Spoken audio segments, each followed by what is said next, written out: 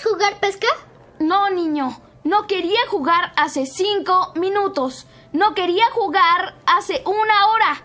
No quiero jugar pesca. ¿Tienes un cinco?